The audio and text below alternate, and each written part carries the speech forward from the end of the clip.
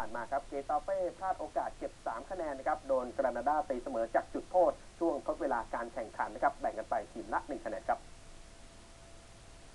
ฟุตบอลลาลิก้าของสเปนนัดที่ 19 ของฤดูกาลครับ เป็นนัด Monday Night เมื่อคืนที่ผ่านมาครับ เกตาเป้ชุดเสื้อสีน้ำเงินเปิดสนามโคลิเซียมอัลฟองโซเปเรส รับการมาเยือนของกรานาดา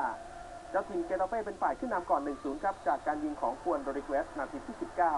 จากนั้นนาทีที่ 28 ครับ ทีมเยือนได้ลูกที่จุดโทษครับ เมื่อดวิดอับราฮัมทำแฮนด์บอลในกรอบเขตโทษครับ แล้วก็เป็นเอียเม่ดิเกลราครับ สังหารไม่พลาดตีเสมอเป็น 1 ประตูต่อ1ครับ นาทีที่ 42 เกตาเป้ขึ้นนำอีกครั้งเป็น 2-1 ครับ จากจังหวะที่ปาโกอานกาเซ่ครับหลุดกับจักล้ำหน้าเข้าไปยิงซุงตาข่ายจังหวะนี้ครับ ขึ้นนำ2ประตูต่อ1เกมทำท่าว่าจะจบด้วยชัยชนะของเกตาเป้นะครับต่แล้วช่วงทดเวลาบาดเจ็บนาทีที่ 92 ทีมเยือนกรานาดามาได้จุดโทษจากจังหวะแฮนด์บอลอีกครั้งนะครับ แล้วก็เป็นซิเกราคนเดิม ยิงเข้าไปไม่พลาดครับ เป็นแฮนด์บอลจากกรอบเขตของประตูนะครับ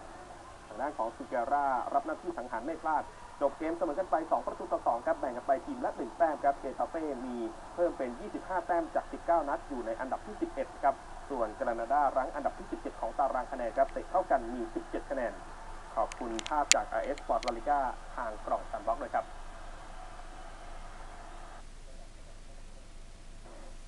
มากันที่ทางด้านของแยนโกซิป